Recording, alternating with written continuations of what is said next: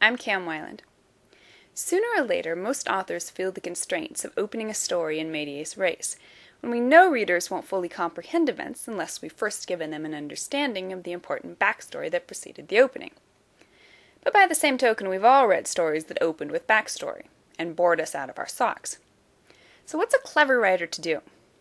We could do worse than to follow Ernest Hemingway's masterful example in his classic short story, The Short Happy Life of Francis Macomber. The story, about a rich, ineffective man on a safari hunt with his spiteful wife, opens smack in the middle of things. The very first line, which tells us it was now lunchtime, and the characters were pretending nothing had happened, lets us know something important has preceded the opening. Hemingway immediately hooks readers with curiosity, then plunges head on into his story. Not until ten pages later does he slow down enough to explain the important backstory, in this case the main character's cowardice in the face of a wounded lion. Had Hemingway dumped the backstory at the beginning, readers would have no way of understanding how important this initial event was. But because he first took the time to engage their curiosity and raise the stakes, readers were not only willing to sit through his backstory, they were champing at the bit to find out about it. The lesson to be gleaned here is twofold.